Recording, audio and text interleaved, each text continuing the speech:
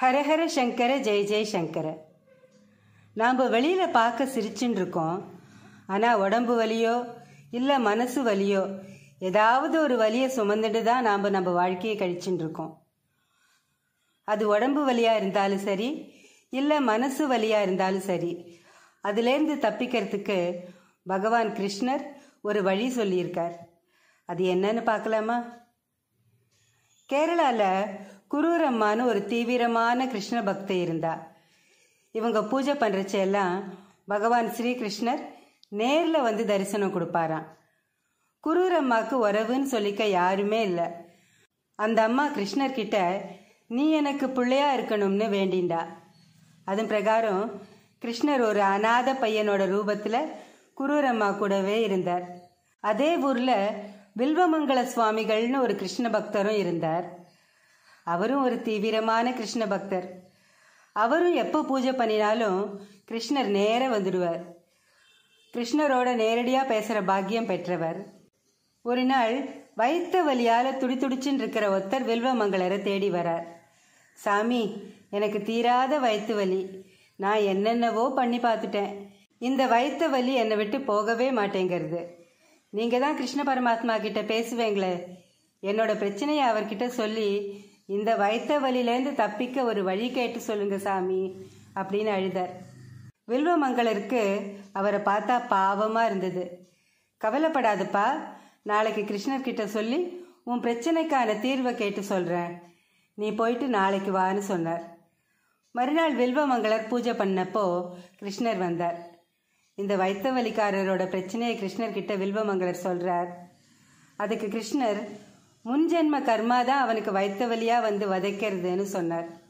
மறுநாள் அந்த வைத்த வலிக்காரர் தன்னோட வழிக்கு நிச்சயம் ஏதாவது வழி கிடைக்குங்கிற நம்பிக்கையோட வில்வமங்கலரை தேடி வரார். வில்வமங்கலர் சொல்றார் நீ முன்ஜென்மத்தில் செஞ்ச பாவத்தை தான் இப்போ அனுபவிச்சுட்டு இருக்க கர்மாவை அனுபவிச்சு தான் தீக்கணும் வேற வழியே கிடையாதுன்னு தீர்மானமாக சொல்லிடுறார். வைத்த வலிக்காரருக்கு துக்கம் தாங்கலை. அவர் வயிற்ற பிடிச்சிட்டு முனகிண்டே நடந்து வரார். வழியில் குரூரம்மா வீட்டு திண்ணையில் வந்து உக்காருறார்.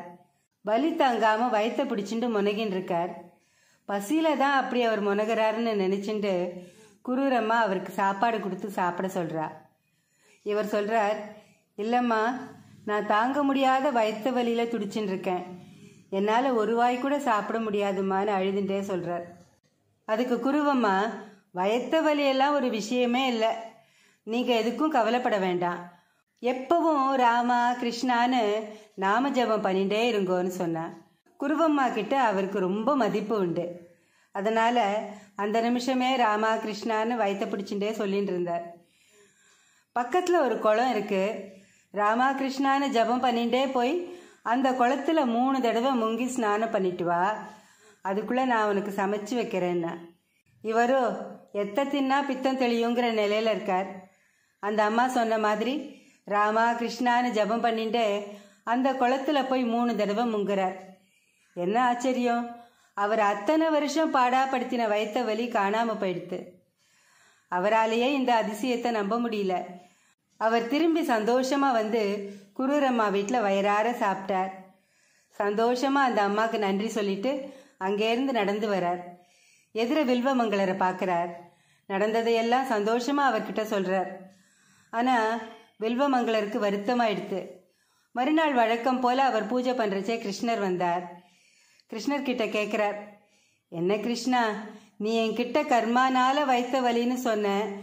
நானும் அப்படியே போய் அவர்கிட்ட கர்ம வினை தீராது அனுபவிச்சு தான் தீக்கணும்னு சொல்லிட்டேன் ஆனால் குரூரம்மா கிட்ட நாம ஜபம் பண்ண சொல்லுன்னு சொல்லியிருக்க. இதை நீ என்கிட்டயே சொல்லியிருக்கலாமே கிருஷ்ணா அப்படின்னு வருத்தத்தோட சொல்கிறார் குரூரம்மா என்கிட்ட எந்த உபாயமும் கேட்கல என் நாமத்தை சொன்னா எல்லா வழியும் போயிடும்னு அவளாவே சொல்லியிருக்கா. எப்பேற்பட்ட கர்ம வினையா இருந்தாலும் என்னோட நாமத்தை தொடர்ந்து ஜபிச்சா போயிடும்னு நான் சொல்லி தான் வில்வமங்கலருக்கு தெரியணுமா என்ன? அப்படின்னு சிரிச்சுட்டே கேட்டார். உண்மைதாங்க.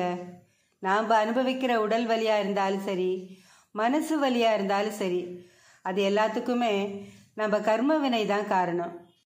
இந்த கர்ம வினை தீரணும்னா அதுக்கு ஒரே வழி நாம ஜபம் மட்டும்தான்.